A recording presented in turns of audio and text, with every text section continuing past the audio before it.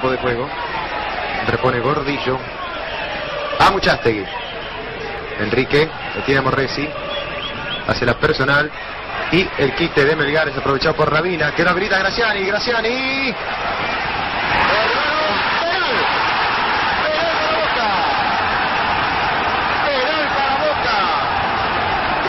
Derribó cuando ingresaba con buenas posibilidades ante Pumpido y a los 33 minutos, claro, penal para Boca que es enganchado su jugador Graciani por Ruggeri, no duda, luchó y es penal para Boca. Clarísima falta. Un pelotazo muy bien puesto a espalda de la defensa de River. Graciani que la mata perfectamente la gol. Había sacado de encima prácticamente también a Pumpido. La acomoda esta fusa, ahora viene Graciani. Graciani, número 7. Cumpido lo mira, toma carrera, tiró. ¡Gol!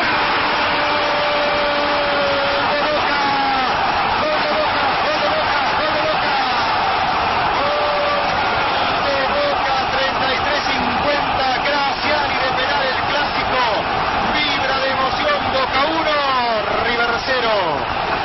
No le dio ninguna posibilidad a Pumpido. Vamos a tener enseguida la reiteración por Canal 2. Aquí está. Le pega violentamente a la pelota. Pumpido se juega sobre su derecha. Prácticamente recto. El disparo. Uno para Boca. Cero para River. Lo merecía.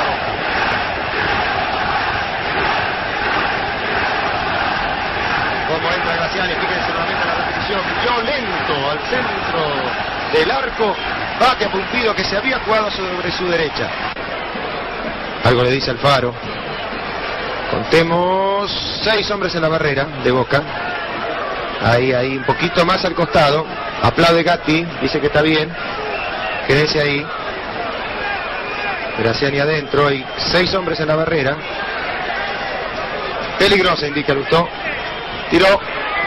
Tiró directo, había marcado peligrosa Lustó. Queda habilitado Gordillo. Peligro, peligro. ¡Gol! Alfaro, gol de River, gol de River, gol de River, Alfaro. 45 minutos, la habilitación de Gordillo y Alfaro con toque suave pone a River Boca 1-1. Muy buena jugada del número 4 de River.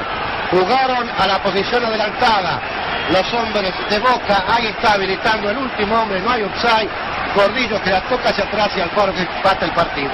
No hubo posición